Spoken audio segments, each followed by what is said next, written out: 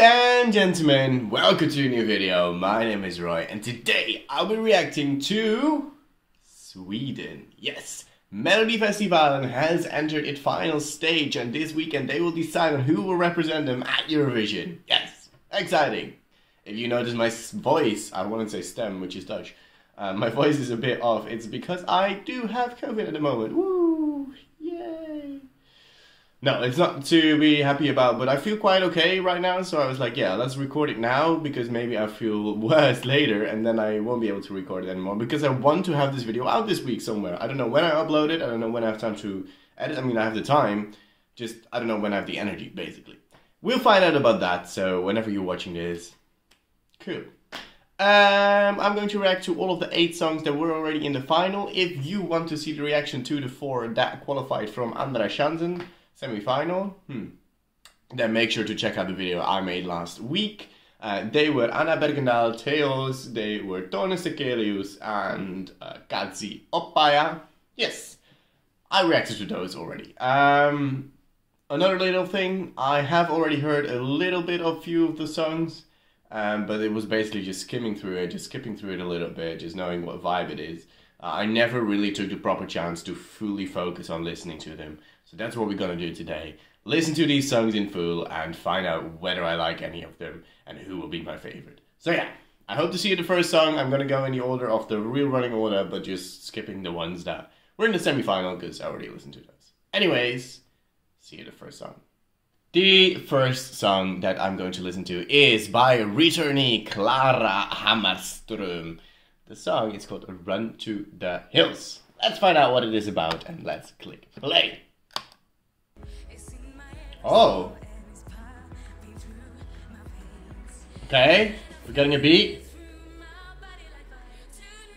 I wasn't a massive fan of her previous two attempts. Let me adjust the camera slightly. Um, I don't know. It didn't fully click with me. Maybe this one will.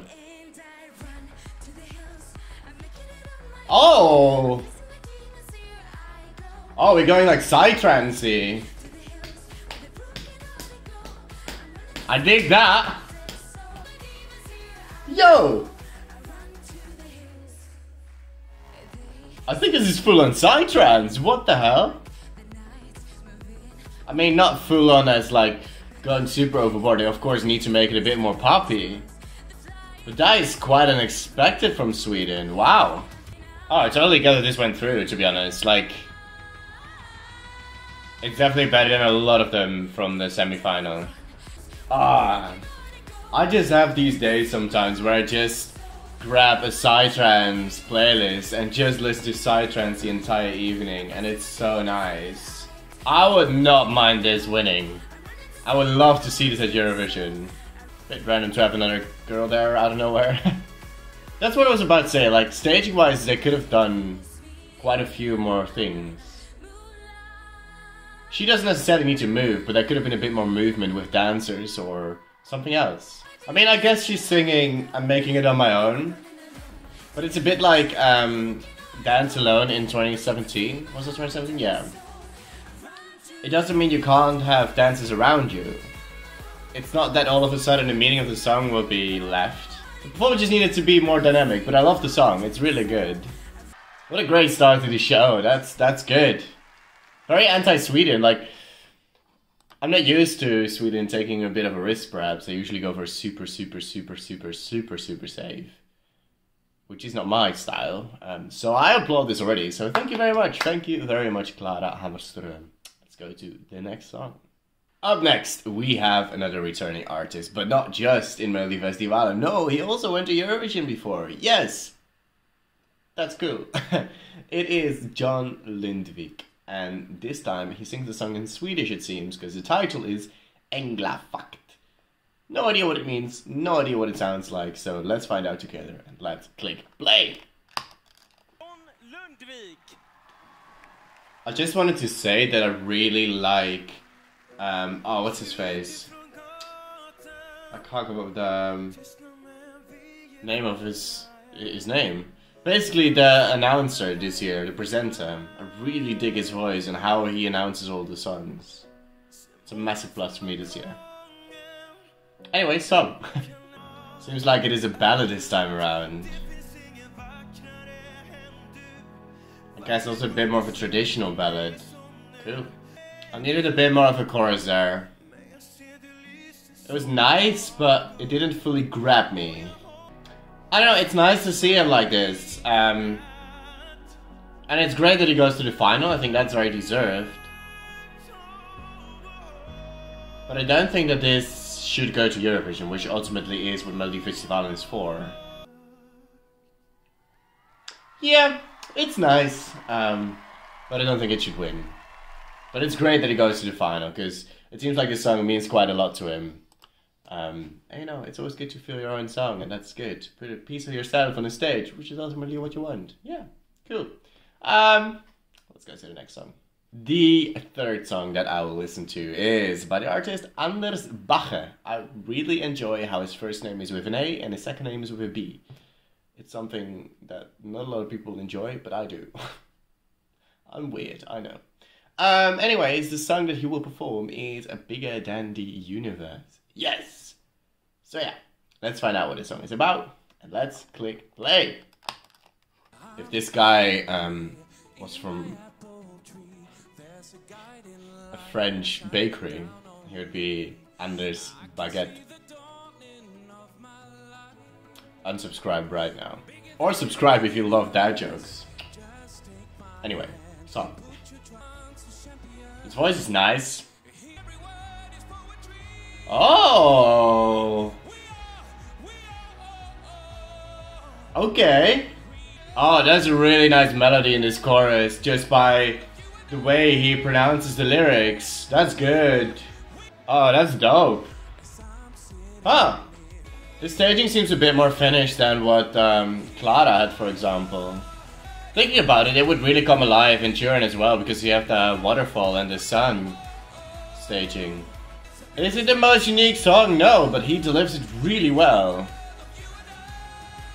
I think this is definitely a contender to win. Definitely. It's the type of song that, that Sweden usually goes for. Hmm. And it feels finished, and that, that's also very important. It feels very finished. Honestly, I would not mind this winning for Sweden. I think this would be a good pick. Yeah. Do I prefer it to Klara? I don't know. It's a tough choice. I like both quite a lot, actually. Huh. Yeah, honestly, that's that's a good contender. I, I can see that doing really well. I don't know the rest of the competition, but like, I could see that contending for the win, hundred percent. Um, yeah, cool, Anders. Anders Bagge, bigger than the universe. Was good. Let's go to the next song. The next song is by another very familiar face. It is Robin Bengtsson. The song this time is Innocent Love, and we've seen him like five times now, or this is the fifth time, I think.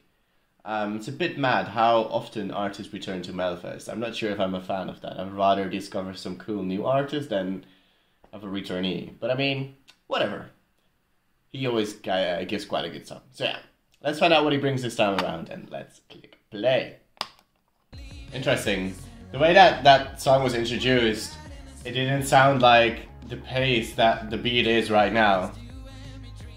It's a bit like the, the mistake in, in last year's Kaino song, where they reintroduced a drum and bass beat with a totally different type of beat. Ah, yeah. Got it. I can already pencil mark in every single thing out. Yeah, this is your kind of standard Melodifestivalen song that I usually don't really care for. But I know Melfest has a lot of fans, so I guess a lot of people will like it. I mean, I will say it's not bad, it's just not exciting anymore, because it's happening so often. Yeah. It, it's not for me. It's very Melody... Wow, Jesus. It is very Melodifestivalen.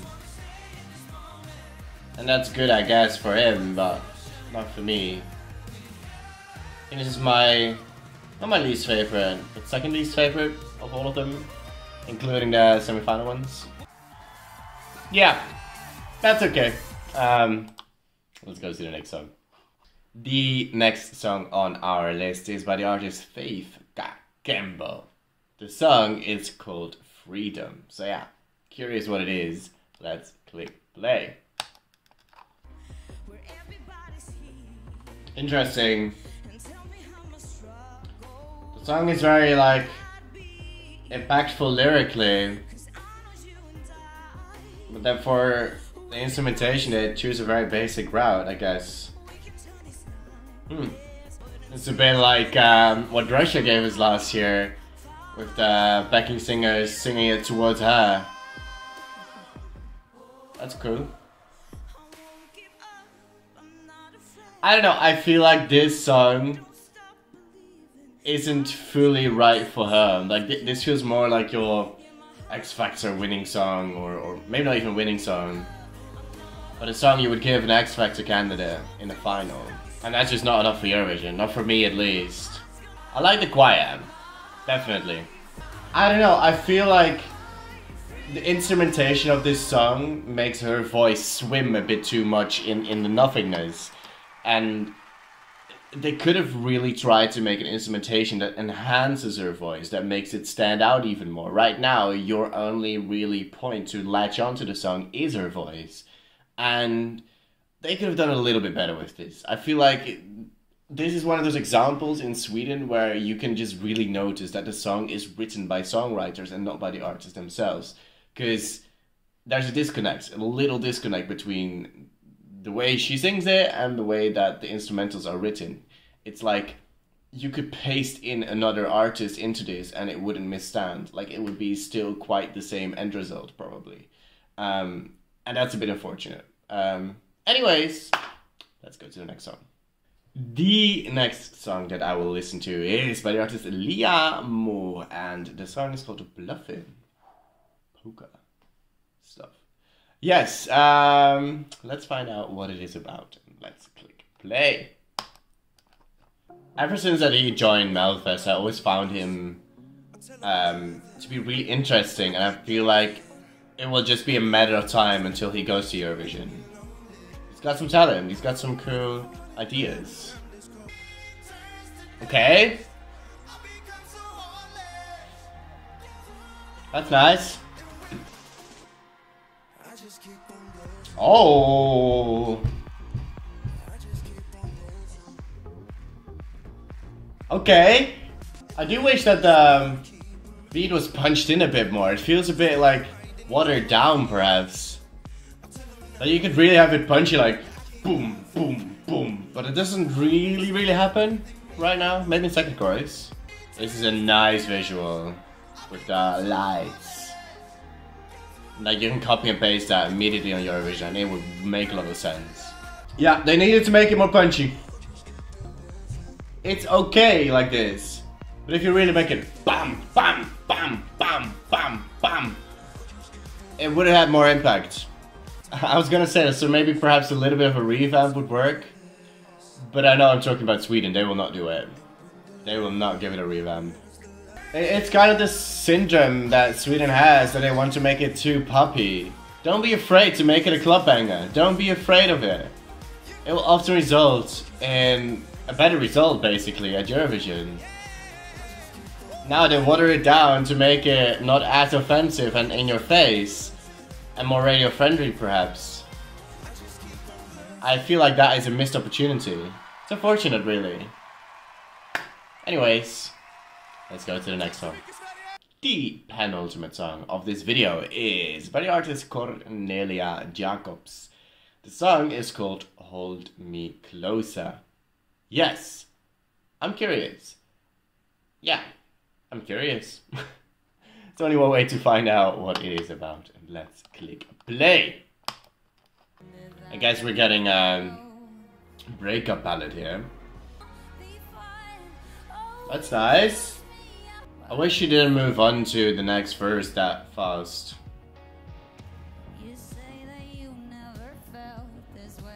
That was odd. Feels like there was all of a sudden a switch in beat. Interesting. I really dig her voice. This instrumentation is very bland. It started nicely, it started like a good orchestration, like with this, like the violin comes in as well now. For the rest, it's really just a normal rattling beat, like.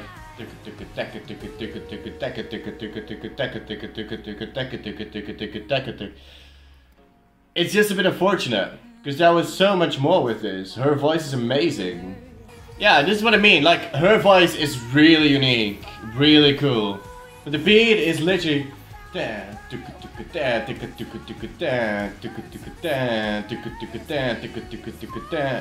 And it doesn't do anything to enhance her beautiful voice. Meaning it becomes more of a singing competition rather than a song competition. Which Eurovision isn't. Oh, that's such a missed opportunity. She's amazing. But the... the I even think the song lyrically is really good and the way she sings the lyrics as well. Just just the backing track is so so basic and so unfortunate. That's a bummer. That's really, really a bummer. Like she has so much potential. I, I hope to see her back with like a better song because she just has the it factor basically. Like her voice is so cool and and she looks amazingly. She performed it really well. Just this beat is so monotonous and so simple. It's not for me. I'm sorry.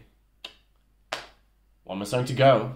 Let's go to that the final song that I need to react to, and then I'm done with this, and then I can be miserable again. Yes, is by the artist Medina, and the song is called In i dimman, which probably is Swedish. cool. Let's find out what this final song is about. Of entire national final season, how weird. This is my last national final video that I will do, like a first reaction video. I'll do like other videos about them, but hey it's mad, isn't it? It really is. Um, Medina In i dimman. Let's click play. I am very curious about this one now.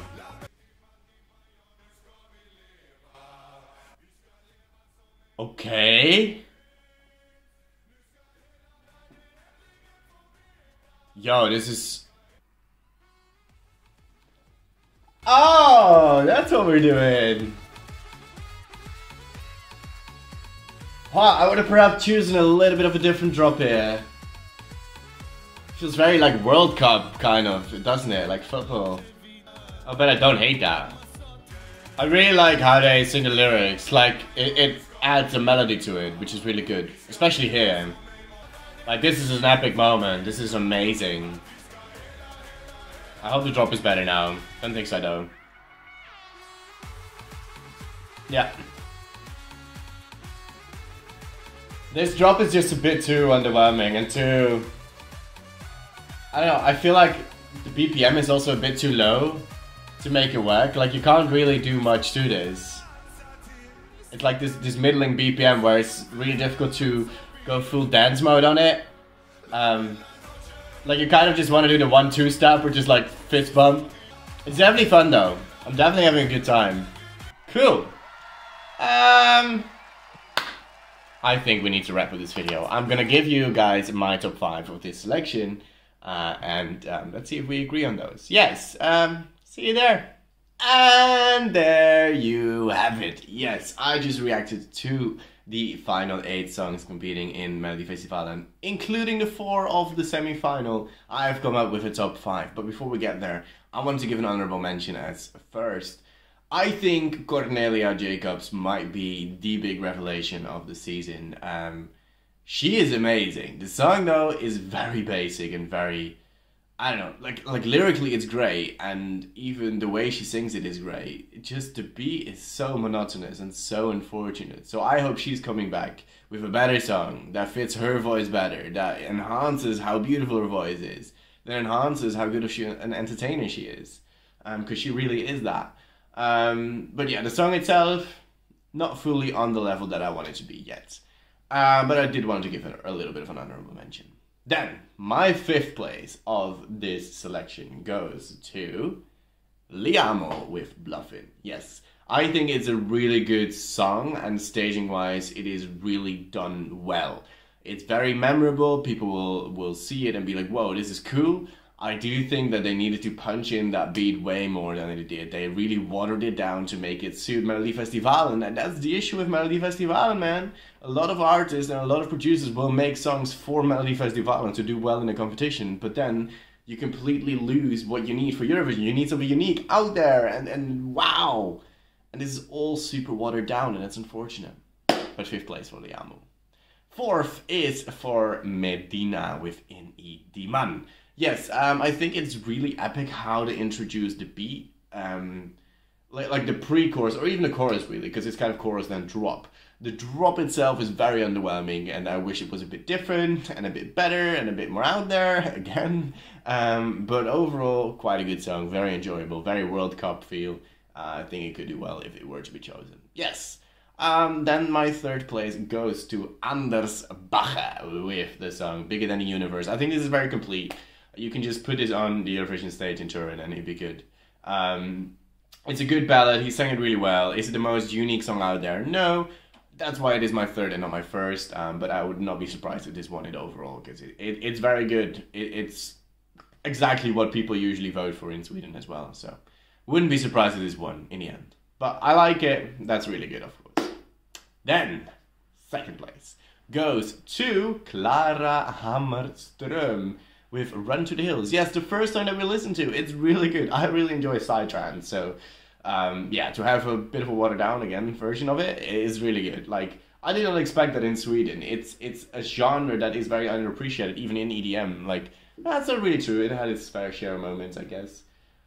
I would love to have it in Eurovision. Um, staging wise, there's a lot that can happen still. It was very static. I wish it was a bit more dynamic, a lot more happened. Um, so I, I really hope that they punch it in a bit more with the staging. Um, but song wise, we're really there. Like it's a good song. It's very strong.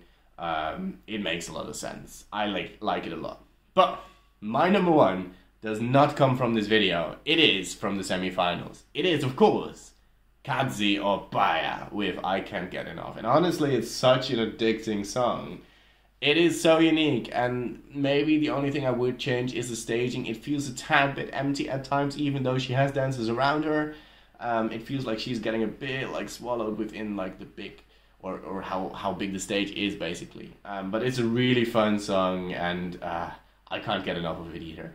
Um, that is my favorite of Melodifestivalen 2022. Now it is up to you. to Tell me who your top five is and what your favorite of this selection is. Also, give me a prediction of what you will think will happen this Saturday. Um, make sure to subscribe to the channel and make sure to like and you know comment. I already said that um, on this video. Um, yeah, I made a video while I'm sick again. Yes, yay! Um, I can go out of quarantine on Saturday, so it is cool.